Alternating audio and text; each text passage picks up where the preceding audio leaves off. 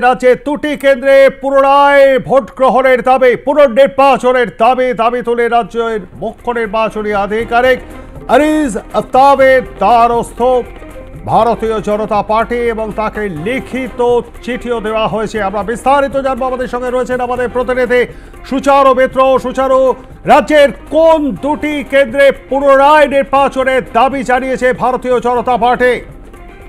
দেখো, মথুরাপুর লোকসভা কেন্দ্র এবং ডায়মন্ড হারবার লোকসভা কেন্দ্র। এই দুটি কেন্দ্রে পুনরায় নির্বাচন চায় রাজ্য বিজেপি। রাজ্যের মুখ্য নির্বাচনী আধিকারিকের কাছে এই চিঠি পাঠিয়ে তারা দাবি করেছে এবং তারা বলেছে যে, গতকাল যে সপ্তম দফার ভোট পর্ব গেছে, জায়গায় জায়গায় অশান্তি হয়েছে মথুরাপুর ডায়মন্ড হারবারে।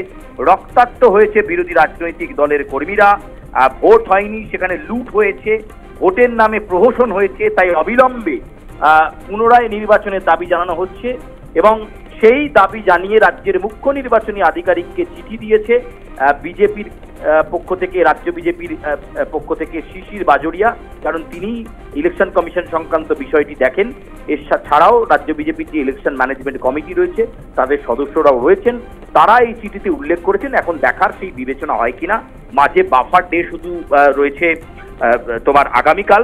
ফলে সেক্ষেত্রে পুনরায় নির্বাচনের যে দাবি বিজেপি করছে, সেটা আদৌ মেনে নেয় কিনা রাজ্যের মুখ্য নির্বাচনী আধিকারিকের দপ্তর বা নির্বাচন কমিশন, সেটা দেখতে হবে। কিন্তু ইতিমধ্যেই ডায়মন্ড হারবার এবং মথুরাপুর এই দুটি কেন্দ্রের পুনরায় নির্বাচনের দাবি জানাচ্ছে রাজ্য বিজেপি, এমনটাই কিন্তু আমরা জানতে পারছি এবং সেই চিঠি ইতিমধ্যেই রাজ্যের মুখ্য নির্বাচনী আধিকারিকের দপ্তরে পৌঁছেছে বলেই আমরা জানতে পারছি। ধন্যবাদ, আমাদের সঙ্গে থাকবার জন্য। কথা বলছিলাম আমাদের প্রতিনিধি সুচারু মিত্রর সঙ্গে এবং তার থেকেই আপনারা বিস্তারিত শুনলেন।